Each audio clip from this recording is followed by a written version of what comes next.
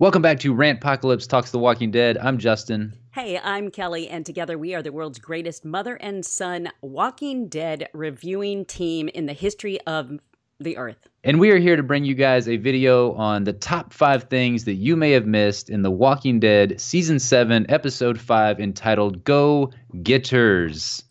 Which... Starting with not number five, but with a bonus. Which cracks me up because we never can go by the numbers that we actually have. No, we cannot. But the bonus is Carl's no good, terrible, horribly bad dart throws. Good lord, kid. I don't think I saw him hit one. And yes, you're probably saying I did not miss that. I definitely saw that. Yeah. But we had to call that out because it was hilarious. It was sad.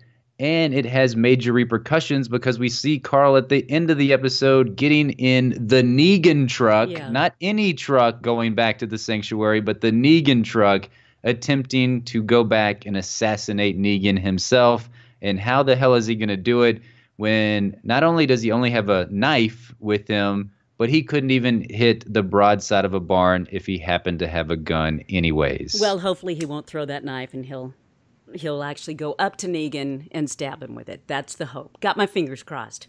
All right, our number five thing you might have missed the flowers that Jesus gave Maggie. They were green and blue, and blue inspires strength and calming, and green signifies release, which is something obviously she needs to do. The green flowers were also just a really nice tie in to the green balloons that Enid placed on Glenn's grave. Yeah, it was really cool seeing that because that was uh, also a callback to season six, whenever that signified that Glenn was still alive. So it's very cool, very sad that the green not only signified the life of Glenn, but the death of Glenn as well. And also is a very cool callback to the comic books whenever we see Maggie and Enid on the graves. That was actually something that we see in the comic books, but it wasn't Enid, it was Maggie and Sophia kneeling on Glenn's grave. Our number four thing that you might have missed, and that was the necklace that Jesus gave to Sasha.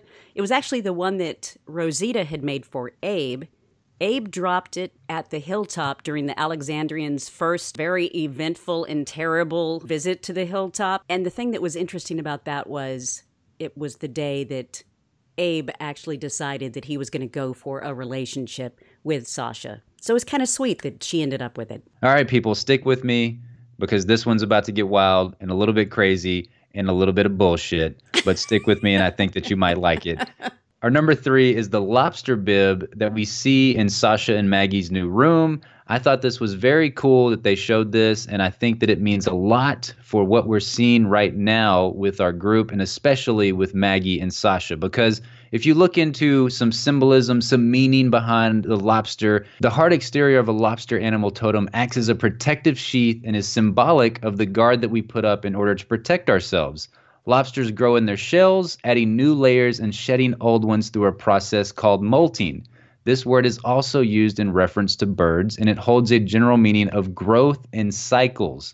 For the lobster, the shell is a reminder of its past. Some traits of lobsters are protection, resolution, controlled persistence, and strength. I believe that these fit Maggie, Sasha, and Enid coming to the hilltop perfectly as they're adding new aspects to their lives, new people, and new ideals, as well as shedding their old ways of thinking. Whenever Sasha and Jesus are talking about their situation, the fact that Gregory's trying to kick their ass out, Sasha says that she will scavenge for Maggie. And just like the lobsters, our group are scavenging for food and supplies in order to survive Negan. Mic drop. Seriously, uh, you should be a politician because that was some deep bullshit, but I believed every bit of it. I appreciate that. Uh, our number two moment was Carl and Enid holding hands as they took a stroll on their roller skates, which was a nice nod to the Walking Dead comics issue 21 that featured Sophia and Carl holding hands. It's really cool how they're playing up this Enid and Carl relationship. They're playing up the fact that Enid is having a much deeper relationship and a bond to Maggie. And this is something that happened in the Walking Dead comic books with Sophia. Unfortunately, Sophia is no longer around. So they're really putting Enid in these roles that Sophia played in the comic books. And I thought that was just a nice little nod to the Walking Dead comic books because if you're a fan of the comic books, you're really liking the fact that they are replacing Enid with Sophia because it was sad to not have Sophia around. And I'm glad that Enid is taking her place.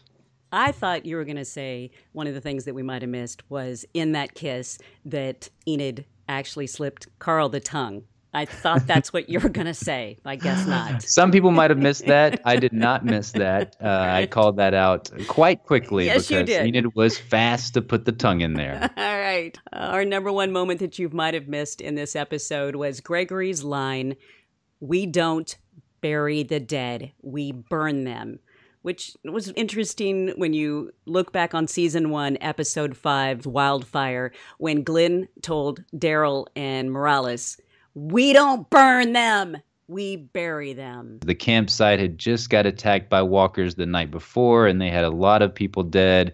And that was just such a a nice thing that that's that's when you kind of realized that Glenn was such a good guy. You realized it before then, but that one was the moment where it kind of like hammered it home that this is a dude that we want in our group. This is a guy that you want as your best friend. And he just had so much humanity in him. He will be missed. There were so many callbacks to Glenn in this episode. It was fantastic. Enid got Hershel's watch. It was just great seeing all these things with Glenn. It needed to be in this episode because it was a heavy focus on Maggie and her loss of Glenn, as well as Enid too, because uh, Enid and Glenn had a, a very strong bond, even though they didn't know each other for that long. Right. And when you say that um, that line illustrated what a great guy Glenn was, it also illustrated what a horrible guy Gregory is. Indeed. Asshole number one. Mm-hmm. So, those were just a few of the things you might have missed in this episode. Please let us know some things that you may have caught that we missed and put those in the comment box down below. You can also email us. It's rantpocalypse at gmail.com. If you like this video, hit the thumbs up, subscribe to the channel. We greatly appreciate it. And we hope you guys have a fantastic day. Bye bye. Bye bye.